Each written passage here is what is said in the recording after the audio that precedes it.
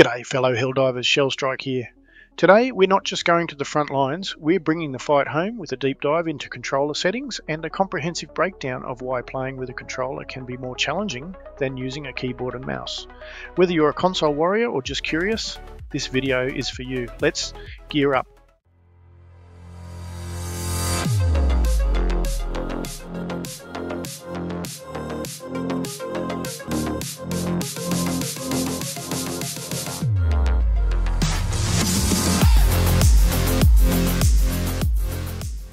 First up, let's ensure your controller is tuned for battle.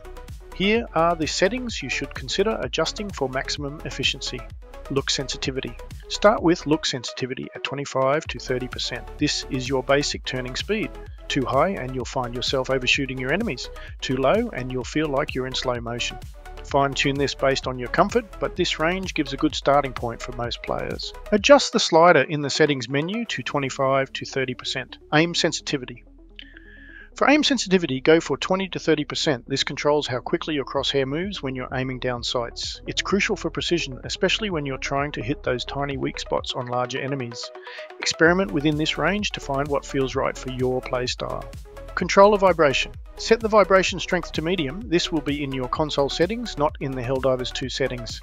It provides feedback for hits and misses without overwhelming you.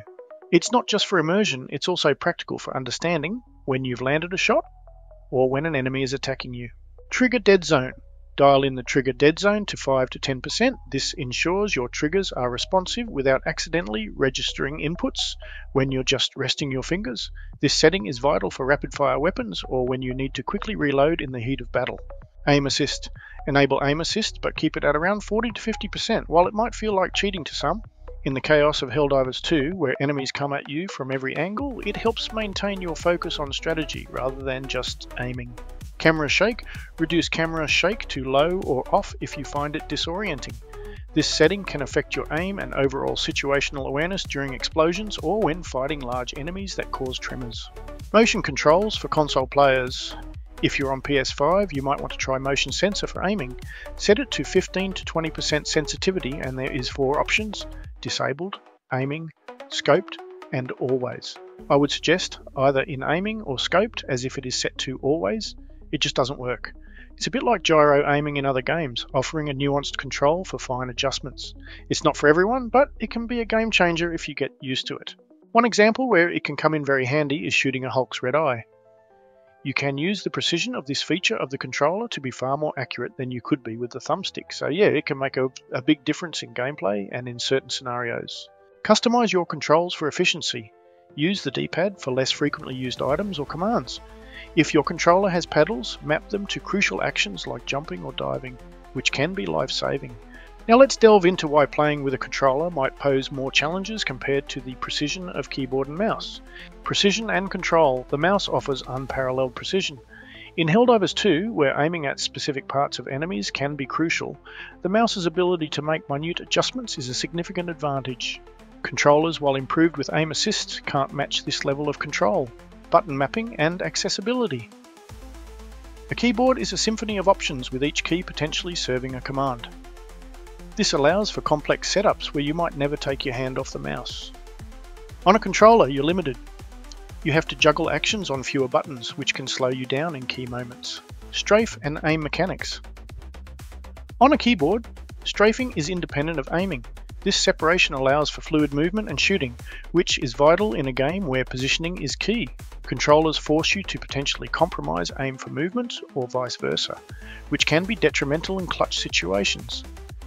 With a controller, your left thumb controls movement, which can sometimes lead to less precise aiming if you're also trying to strafe or adjust your position. On a keyboard, WASD movement frees up your mouse hand entirely for aiming. In Helldivers 2, where enemies can come from any direction, this can be crucial for survival. Gamepad layout limitations. You'll often find yourself needing to hold or press combinations of buttons for different actions. This can be clunky, especially when you need to switch weapons, reload, and call in stratagems in quick succession. Controllers are inherently limited by their design. For instance, while you can use back paddles or extra buttons for additional commands, you're still capped by hand size and thumb reach. This limitation can sometimes make quick actions like switching weapons or deploying stratagems feel cumbersome during the heat of battle. Adaptation and muscle memory. Even seasoned console players might struggle with the inherent limitations of controllers when transitioning to a game that demands the precision of PC shooters. Muscle memory developed over years on a mouse can make controller play feel limiting. Your gaming background plays a huge role here. If you've primarily played on consoles, you're likely more accustomed to the feel of a controller, which can translate into quicker reflexes and more intuitive gameplay. Conversely, PC players might find the transition to a controller less seamless due to muscle memory developed with a mouse and keyboard. Customization flexibility. While modern controllers offer more customization than ever, they still can't compete with the sheer number of options available on a PC setup. Macro keys, programmable mouse buttons, and software for further tweaking give keyboard and mouse users an edge in personalization. On PC, the customization of controls goes beyond just button mapping. You can tweak sensitivity curves, create macros, and even adjust DPI settings on your mouse for different scenarios in the game. This level of control can be a significant advantage for players who like to min-max their setup. One good example of this is voice chat, and trying to assign a standard PS5 controller button as they are already used up in Helldivers 2. So unless you have an aftermarket controller with extra buttons for mapping, it can be difficult to assign a button for team voice chat for the press to talk option. I've had to remap the press to talk button on the PS5 controller to the down arrow on the D-pad on long press, or another option is long press left arrow on the D-pad. In Helldivers 2, whether you choose a controller or opt for a keyboard and mouse, understanding and optimizing your input method is key to dominating the battlefield. Here's a recap of what we've covered. Optimal sensitivity settings for better control over your character and aiming. Vibration and trigger adjustments to enhance your tactile feedback without distractions. Leveraging aim assist for those split second targeting needs while ensuring you still earn the kill. Motion controls for PS5 players offer a nuanced aiming adjustment, custom button mapping to streamline your combat efficiency. When comparing the controller to the keyboard and mouse, precision is where the mouse excels, offering pinpoint accuracy that's hard to match with a controller. Button accessibility on a keyboard allows for more complex control schemes. Movement mechanics can be more fluid with a mouse and keyboard setup. Adaptation to one's preferred method often depends on prior gaming experience. Customization on PC can provide a tactical advantage through advanced settings and modifications. No matter your choice, practice will make perfect. Spend time in the game's tutorial or lower difficulty missions to get accustomed to your settings. Remember, Helldivers 2 is not just about shooting, it's about strategy, teamwork, and using your tools effectively.